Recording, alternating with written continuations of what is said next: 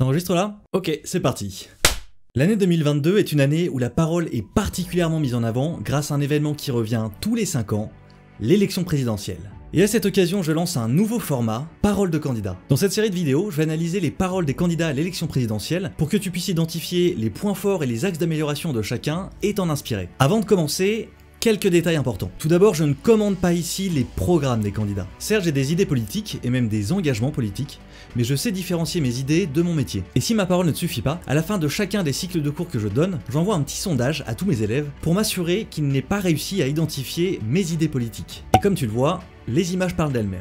Donc ces analyses porteront sur la forme des paroles des candidats, sur les outils rhétoriques qu'ils utilisent, en toute neutralité politique. Ensuite, pour qu'on ne me reproche pas de mettre en avant un candidat plutôt qu'un autre, j'ai décidé de procéder en fonction des scores dans les sondages et de ne prendre en compte que les candidats officiellement déclarés. Au moment où je tourne cette vidéo, Emmanuel Macron n'est pas encore candidat et Valérie Pécresse est la candidate ayant le score le plus haut dans un sondage Ipsos. C'est donc avec elle que je vais commencer. Et maintenant que ces quelques points sont clairs, on peut y aller.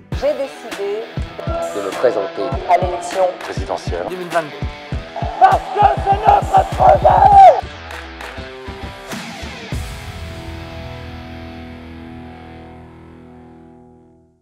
Valérie Pécresse est la candidate du parti Les Républicains. Née en 1967, elle est diplômée d'HEC puis intègre le Conseil d'État à sa sortie de l'ENA à l'âge de 25 ans. Ouais, elle était sans doute un petit peu plus studieuse que moi, moi à 25 ans j'étais en spring break à Miami. Conseillère de Jacques Chirac à partir de 92, elle est par la suite élue députée, puis intègre le gouvernement Fillon sous Nicolas Sarkozy. En juillet 2021, elle annonce sa candidature à la primaire de la droite en vue de l'élection présidentielle de 2022. Arrivée deuxième au premier tour, elle est soutenue par l'ensemble des candidats perdants, Michel Barnier, Xavier Bertrand et Philippe Juvin, et remporte le deuxième tour face à Eric Ciotti. Voilà pour ce bref exposé de parcours. Mais qu'en est-il de sa parole? Pour le savoir, j'ai visionné des dizaines d'heures d'interviews et de discours de la candidate avant et après son annonce de candidature. Mon analyse va porter sur trois points. La voix, le langage corporel et la rhétorique.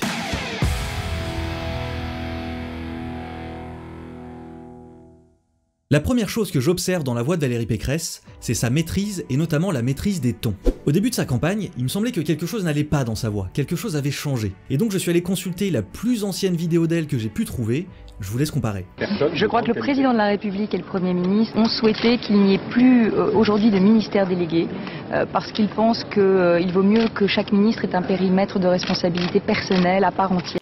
Alors oui, cette élection présidentielle, je m'y suis préparée. Je porterai un projet de franche rupture. Le ton est devenu beaucoup plus grave. Depuis qu'elle est candidate, Valérie Pécresse place sa voix dans les graves, une voix qui lui confère un ton plus sérieux, qualité essentielle à une potentielle présidente. D'ailleurs, elle porte beaucoup d'attention à cette tonalité, comme on peut le voir à ce petit instant capturé lors de son premier meeting. D'attendre notre grand défi. Elle commence dans les aigus et se reprend pour bien rester dans les graves. En revanche, il y a un point que la candidate LR maîtrise moins, c'est la puissance. La puissance est un outil important de l'orateur, puisqu'elle lui permet de mettre en avant certains éléments et de transmettre des émotions. Le problème chez Valérie Pécresse, c'est qu'elle ne parvient pas à gérer à la fois la puissance et le ton. Mais un système, ça se change, et un président, ça se change aussi la droite est de retour En revanche, ça passe beaucoup mieux quand elle essaye de faire monter la puissance sans changer la tonalité. Alors nous, nous réformerons le présent pour ne pas ruiner l'avenir Ainsi, ces montées en puissance et en aigu sonnent faux parce qu'ils ne sont pas authentiques. Elle essaye de maîtriser ce qu'elle ne parvient pas à faire sans succès. Et d'ailleurs, parfois, ça lui joue des tours. Eh oui Autre défaut chez Valérie Pécresse, son manque de souffle. Alors qu'elle parle souvent d'un nouveau souffle, de l'air je vous invite à une nouvelle aventure pleine de souffle. Elle oublie elle-même de respirer et part dans ce que j'appelle des apnées du discours. En ne pensant pas son souffle, elle perd en énergie et en articulation dans la fin de ses phrases.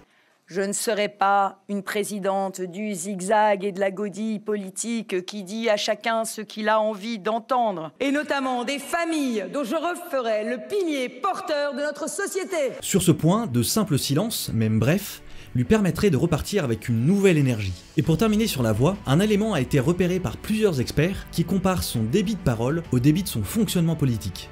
Quand elle est réélue à la présidence de la région d'Île-de-France, elle fait voter 80% de son programme dans les premiers conseils. Ensuite, quand en juin 2021, elle annonce dans l'émission Bourdin Direct qu'elle prendra la totalité de l'été pour réfléchir à une éventuelle candidature, elle va finalement prendre sa décision moins d'un mois après. Cette vitesse se retrouve aussi dans sa parole et notamment dans ses interviews. À chaque question, la réponse se fait brève, presque éclair. Elle n'ouvre pas vers d'autres sujets et se contente de répondre comme un élève à son professeur. Alors la voix c'est une chose, mais qu'en est-il du langage corporel?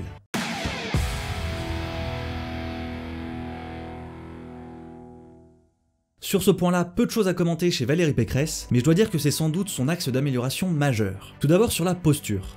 La posture est un élément important pour l'orateur puisqu'elle participe fortement à l'image qu'il renvoie. Une posture droite, bien ancrée, verticale, participe au charisme visuel de celui qui parle. Chez Valérie Pécresse, ces éléments ne sont pas présents. Comme on le voit sur ces images, la posture est bancale.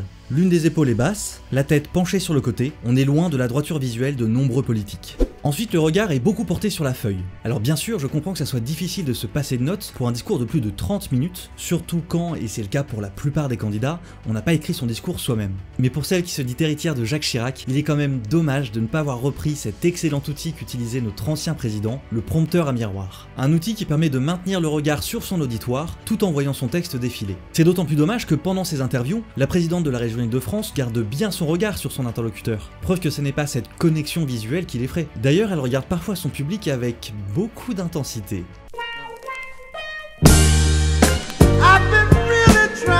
Autre grand absent des discours, le geste. Valérie Pécresse a une gestuelle très peu présente, et le peu de fois où elle utilise ses gestes, ils ne font que souligner leur absence le reste du temps. De plus, cette gestuelle est très basse et peu dirigée vers son public. Ces éléments donnent une certaine froideur, une certaine rigidité à son langage corporel. Et finalement, le geste qu'on voit le plus chez elle, c'est un léger acquiescement de sa tête pendant qu'elle parle, ce qui n'est pas un mauvais geste puisqu'il vient accompagner ce qu'elle dit et montre de l'assurance en ses propos.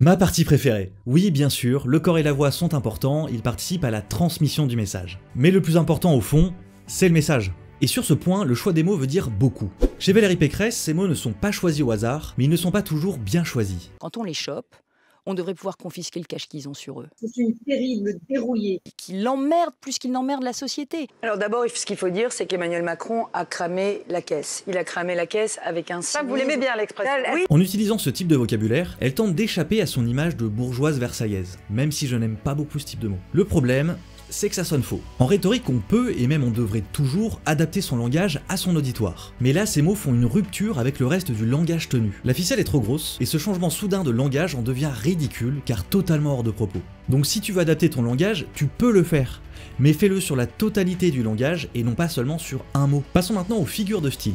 Il y a deux types de figures de style que la candidate utilise beaucoup, les figures de répétition et les figures d'illustration. Sur les figures de répétition, il y en a trois en particulier auxquelles elle fait appel.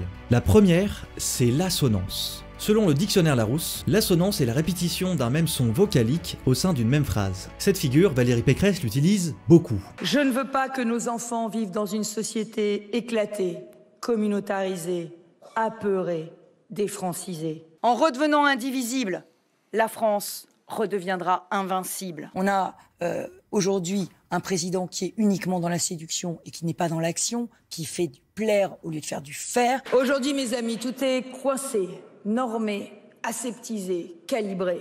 Emmanuel Macron n'a qu'une seule obsession, c'est plaire. Moi, je n'ai qu'une seule passion, c'est faire. Bien utilisée, cette figure de style permet de créer une harmonie, une musicalité dans le discours par une sonorité rimée. Le problème chez cette candidate, c'est qu'elle n'est pas bien utilisée, mais j'y reviendrai plus tard. Deuxième et troisième figure de style beaucoup utilisées par Valérie Pécresse, je les place ensemble parce qu'elles sont très proches, l'épanaphore et l'anaphore. L'anaphore c'est la reprise d'un même mot ou d'un même groupe de mots au début de phrases successives, tandis que l'épanaphore consiste à reprendre une même structure syntaxique souvent au sein d'une même phrase. Là aussi, Valérie Pécresse les utilise énormément. Et pourtant, et pourtant, tant, tant, tant, coupable, coupable, coupable, liberté, liberté, liberté, liberté, liberté, liberté, liberté, liberté, liberté, liberté, liberté, liberté, liberté. Liberté de... Ces deux figures de style sont beaucoup utilisées en politique car elles permettent de créer un refrain, un rythme qui revient et qui permet de faciliter l'ancrage d'un message dans l'esprit de l'auditoire. Donc en soi, ça devrait bien fonctionner. Le problème chez Valérie Pécresse, ou sans doute plutôt chez sa plume, c'est que ces figures de répétition sont souvent associées à un autre groupe de figures de style, les figures d'illustration. La principale figure d'illustration utilisée par la candidate LR, c'est la métaphore. La métaphore, toujours selon Larousse, c'est l'emploi d'un terme concret pour exprimer une notion abstraite par substitution analogique, sans qu'il y ait d'éléments introduisant formellement une comparaison. Pour simplifier, c'est le fait d'utiliser une image pour simplifier un propos, sans expliciter qu'il s'agit d'une comparaison. Et comme je le disais, ces métaphores, elles sont très nombreuses chez Valérie Pécresse. La vie est, un puzzle étrange qui un jour s'emboîte en vous. Nous allons tourner la page Macron. Mais sans déchirer les pages de l'histoire de France. La fierté, c'est le ciment de l'unité. Les Français ne sont pas des petits pois dans une boîte. La métaphore, c'est un procédé que j'apprécie beaucoup, car il permet d'associer une idée à une image concrète. Or, une image se mémorise plus facilement, donc en l'utilisant, tu vas permettre d'ancrer plus facilement une idée abstraite dans l'esprit de ton auditoire. C'est donc un gros point positif pour Valérie Pécresse.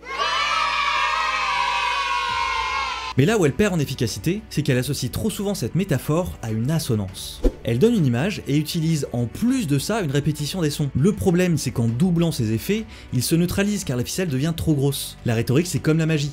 Si on repère le truc, ça manque clairement d'intérêt. Donc en utilisant trop de figures de style, on crée des phrases slogans qui manquent d'authenticité et ont à peu près la même saveur qu'un plat surgelé bas de gamme. Attention, je ne dis pas que les phrases slogans sont inutiles, mais il n'en faut pas trop. Un candidat à la présidentielle va constituer une ou deux phrases slogans qu'il va marteler dans ses prises de parole et qui vont résumer le message principal qu'il veut faire passer dans sa campagne. Mais s'il y en a trop, on perd l'effet. Autre figure d'illustration utilisée par Valérie Pécresse, le storytelling.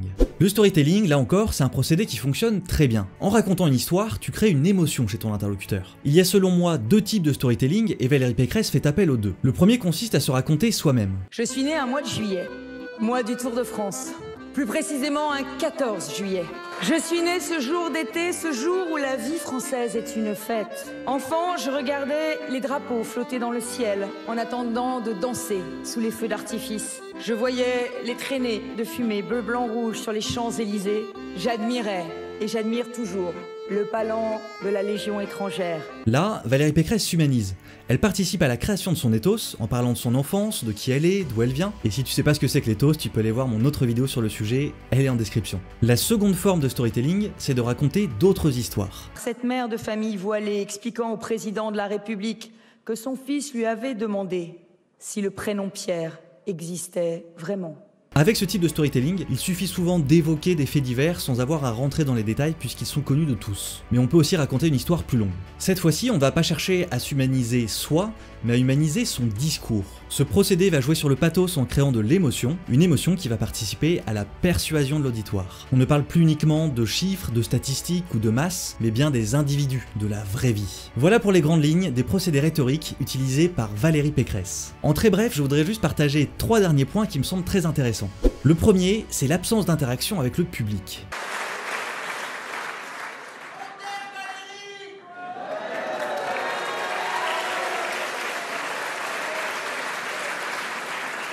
Mes amis, il y a quelques semaines, on nous disait enterré, divisé, perdu. On le voit dans cet extrait, mais c'est aussi le cas à d'autres moments, Valérie Pécresse pourrait profiter de cette intervention du public pour réagir, pour se montrer naturelle. Mais elle reste dans les clous de ce qui est écrit, c'est dommage. Deuxième point, l'utilisation du nous inclusif. Nous laisserons, nous nous battrons, nous allons, nous sommes, nous serons. Valérie Pécresse utilise beaucoup la première personne du pluriel dans ses discours. Et je trouve ça très intéressant parce que ça montre qu'elle ne se considère pas comme étant seule. Elle montre qu'elle travaille avec d'autres personnes et qu'elle est donc capable d'être entourée et de travailler avec cet entourage. Elle ne se considère donc pas comme seule capable et ça participe à son ethos. Enfin, dernier point, mais très positif lui aussi, le fait d'être beaucoup dans l'affirmatif et non dans le conditionnel. En posant ses souhaits comme des affirmations, elle montre une force de volonté et une projection de son programme. Ce procédé participe à la motivation de ses troupes mais également des électeurs pour qu'ils l'encouragent. Et d'ailleurs ce procédé est aussi très utile en entreprise. Mieux vaut dire à tes salariés cette année nous allons doubler le chiffre d'affaires de notre entreprise plutôt que cette année j'espère que nous allons doubler notre chiffre d'affaires. On arrive à la fin de cette vidéo et pour résumer je dirais que Valérie Pécresse est une candidate intéressante sur le plan oratoire mais qu'il lui manque deux choses ou plutôt deux personnes. En premier lieu, une plume qui lui corresponde. Sa plume actuelle, Igor Mitrofanov, est une très grande plume. Il a accompagné François Fillon pendant plusieurs années jusqu'à sa campagne de 2017. Mais il me semble que le duo avec Valérie Pécresse fonctionne moins bien. Donc nouvelle plume ou nouveau processus d'écriture, je ne sais pas, mais il y a du boulot. Et deuxième personne manquante, un coach. Si Valérie Pécresse a certaines qualités, certains détails méritent encore d'être travaillés dans la forme du discours. Un coach en prise de parole lui permettrait d'avancer sur ces différents points et de valoriser le fond de son discours. D'autant que plusieurs des éléments que j'ai cités peuvent être corrigés facilement et sans lui faire perdre pour autant son authenticité et son style oratoire, au contraire. Alors Madame Pécresse, hein, si vous voyez cette vidéo, j'ai du temps et il vous en reste peu. Pour les autres, je vous dis à la semaine prochaine pour une nouvelle vidéo au format classique et à dans deux semaines pour un nouvel épisode de Parole de candidat. Dis-moi aussi en commentaire ce que tu penses de ce nouveau format, ce que tu penses de la parole de Valérie Pécresse ou simplement un encouragement pour que je me motive à regarder encore des dizaines d'heures de discours de tous les autres candidats. Enfin, un dernier message citoyen, il te reste jusqu'au 4 mars pour t'inscrire sur les listes électorales si ça n'est pas déjà fait. Donc n'oublie pas que si ça n'est pas toi qui choisis, d'autres choisiront pour toi. Et n'oublie pas non plus les trois clés pour développer une parole impactante et convaincante, étudier, observer et pratiquer. Salutations cher ami et à la prochaine